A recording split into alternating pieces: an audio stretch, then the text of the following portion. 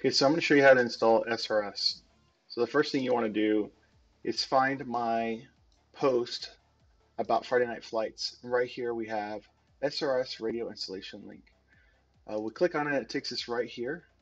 And we have two different downloads. We have the standalone 1.13, this is the one that we have currently, and we have this auto updater. I personally recommend downloading the auto updater. And once you do, it'll give you this downloading the latest version and then it brings up this pop-up menu. Of course, it'll ask you where do you want to install it. I recommend program files, it's fine.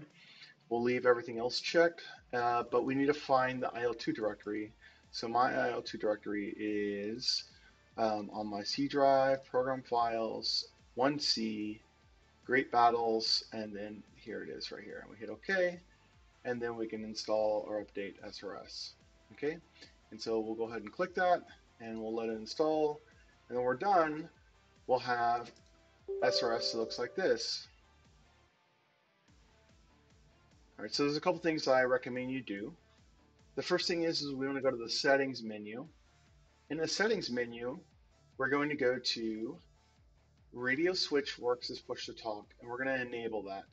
All right, well, and I'll explain what this does in just a second. The next thing we want to do is change our first radio audio channel all the way to the left and our second radio channel all the way to the right. So that's these two right here. See, I have it all the way to the right and all the way to the left. All right, so the next thing want to do is we're going to go into controls. And in controls, we're going to say select radio, uh, select first radio, and we're going to bind a key to it. I personally bound my uh, throttles hat switch to, uh, to radio one and select second radio uh, right here, select second radio. I bound that to my hat switch as well. So this is the up hat switch and this is down on the hat switch. The next thing you need to bind is radio channel up and radio channel down. Now I bound these to the up arrow on my keyboard and the down arrow on my keyboard.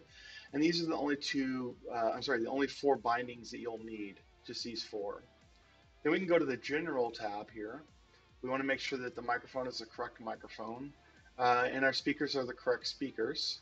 Uh, we don't need to mess with this output pass-through unless you have some sort of pass-through, but you shouldn't. All right, so the next thing we want to do is we want to uh, get the correct SRS value. Now you can you can get this by connecting to the server automatically. It'll happen automatically. So, um, or you can just type it in, and I will give this uh, um, this uh, IP address on the description of the YouTube video, but it's srs.combatbox.net colon 7002. So this is the this is the FNF one, and dot, uh, 6002 is the main server. So once you have that, you can click connect, and when you do, you should hear bling, just like we heard, and we'll get a green. You're connected to the server, and now you're connected to voice over IP, but we're not connected to IL2 because I don't have IL2 running. Um, and you can see here when I click toggle overlay that we have our nice overlay. Now how the overlay works here is we have our different channels and the channel is not specific to the radio. So there's not a radio 1 channel 2 and a radio 2 channel 2. It's just channel 2. Um, so uh, in this top one out here is obviously radios. We can go all the way to 5.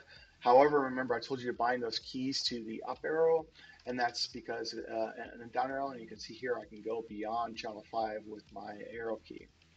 Um, and then before I also told you that you wanted to bind select fresh radio to um, uh, to one of your uh, hat switches. And I also told you to set this radio switch push to talk as, uh, as on.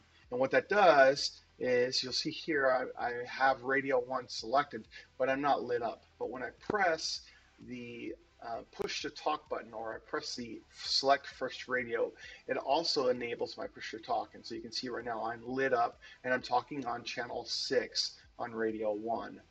Um, and then when I press select second radio and I hold that down, you can see now that I'm doing push to talk on channel 2 uh, of my second radio. And so um, that's what you'll want to have set. And and what you'll do in Friday Night Flights is typically I'll have most of my pilots select radio one, channel one, and that's the leadership channel for both allies and Axis. And then on radio two, they'll select their particular um, flights channel. And so when they talk on uh, just to their flight, they can just do this to their flight. And then when they talk, want to talk to the leaders and the rest of the leaders of all the other flights, they can just press the radio one button. All right, so hopefully this is helpful to you. If you have any questions about setting up SRS, by all means, hit me up on Discord. And um, thanks for watching.